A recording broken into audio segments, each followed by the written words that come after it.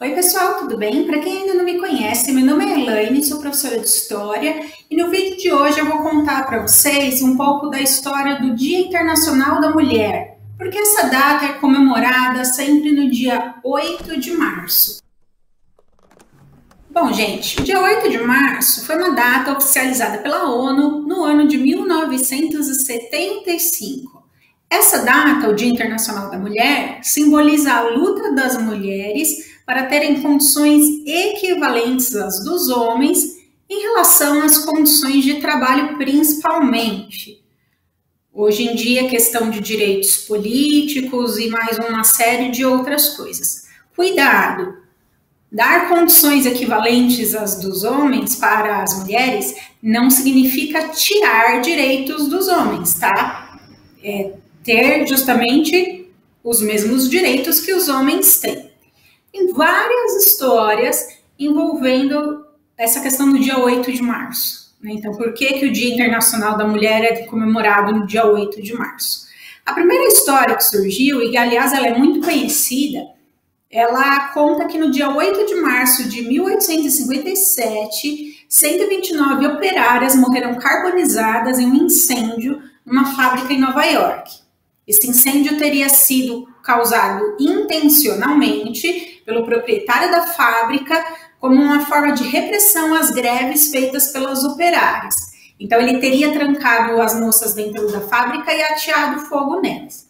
Essa história, contudo, não é verdadeira. Embora ela seja muito conhecida, ela não é verdadeira. Uma outra história, esta verdadeira, um acontecimento do dia 25 de março de 1911.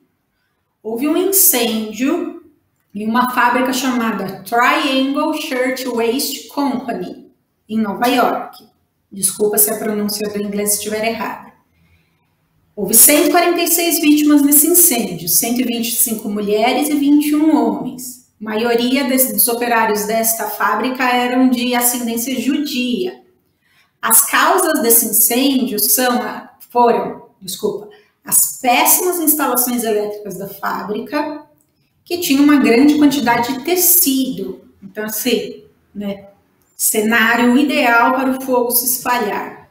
Na hora que o incêndio começou, os trabalhadores estavam trancados na fábrica, porque isso era um costume na época, para evitar que os trabalhadores saíssem durante os, o expediente, sair, sei lá, para qualquer coisa, eles ficavam trancados durante o expediente. Então, essa história é verdadeira.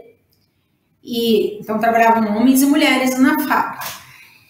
E essa história começou a ser relembrada né, ao longo do século XX, mas, além disso, tem vários eventos que contribuíram para a luta das mulheres por direitos. Esses eventos vêm lá das, do episódio das mulheres sufragistas nos Estados Unidos, que lutavam pelo direito de voto, e além do fato de que em 1910 aconteceu o segundo Congresso Internacional de Mulheres Socialistas, que ocorreu em Copenhague. E neste congresso, a Clara Zetkin, que era membro do Partido Comunista Alemão, ela propôs a criação do Dia Internacional da Mulher. Aliás, a Clara Zetkin é muito importante na luta né, pelos direitos das mulheres. A questão das mulheres ganhou força em 1917 na Rússia, durante os eventos que levaram à Revolução Russa. Naquele ano, as mulheres trabalhadoras do setor de tecelagem entraram em greve no dia 8 de março e elas reivindicaram a ajuda dos operários do setor de metalurgia.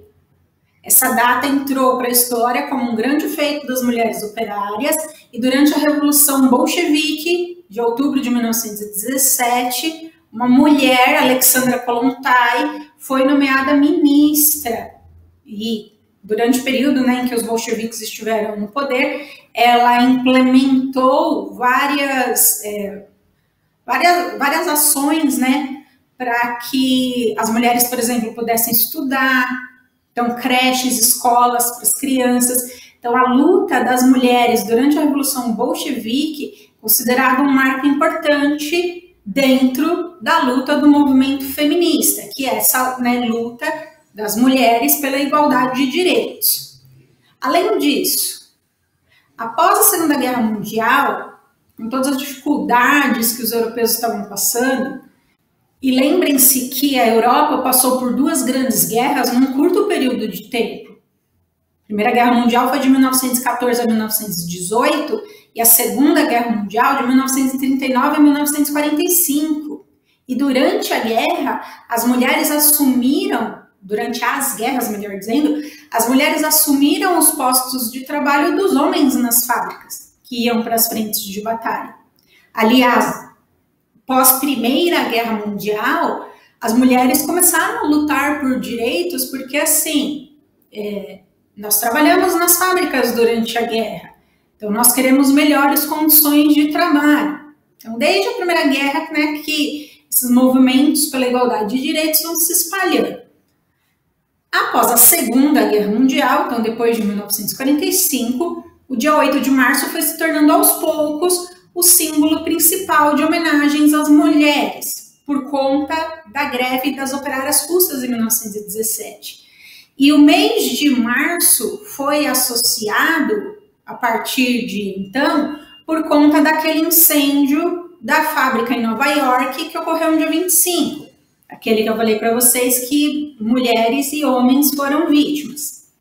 E para falar sobre essa questão do, né, da, da, confirmação da data, eu fui buscar, né, aí nas minhas pesquisas, estou aqui com uma citação do site Brasil Escola. Eu achei que esse parágrafo resumiu bem né, a, a questão. Então, no site brasilescola.ol.com.br vocês encontram mais informações sobre a questão do Dia da Mulher. A partir dos anos 1960, a comemoração do dia 8 de março ela já tinha se tornado tradicional, mas ela foi oficializada pela ONU apenas em 1975, quando a ONU declarou aquele ano o Ano Internacional das Mulheres como uma ação voltada ao combate das desigualdades e à discriminação de gênero em todo o mundo. Então, como parte né, dessa ação da ONU, o dia 8 de março foi oficializado como o Dia Internacional da Mulher. A luta das mulheres por direitos iguais é uma luta que se estende até os dias de hoje. E, de novo, quando a gente fala em luta das mulheres por igualdade de direitos, isso não significa tirar direitos dos homens. Existem pesquisas, vocês podem procurar aí pela internet, que demonstram que homens e mulheres que ocupam os mesmos cargos, aliás, deixa eu reformular a frase, que entre homens e mulheres que ocupam os mesmos cargos, mulheres recebem menos. Aliás, saiu uma reportagem hoje, dia 7 de março, no UOL, falando sobre essa desigualdade salarial. Então, o Dia Internacional da Mulher é um dia a ser relembrado por conta dessa luta das mulheres por igualdade de direitos. E aí tem um monte de coisa para a gente falar. O Brasil é um país, por exemplo, que tem é, que a maior parte da população é feminina, mas a representação das mulheres nos espaços de poder ainda é muito pequena. Então, prefeitas, governadoras, vereadoras, deputadas, senadoras, durante toda a história do nosso Brasil República, que começou em 1889, nós só tivemos uma mulher na presidência da República, que foi a Dilma Rousseff. Hoje, por exemplo, no Supremo Tribunal Federal, que é o órgão máximo da justiça do país, de 11 representantes, nós temos duas mulheres. E nós temos também a questão das mulheres é, pretas, pobres, periféricas, é, que vivem em situação de, de violência, de miséria. Então, nós temos muitas coisas a discutir.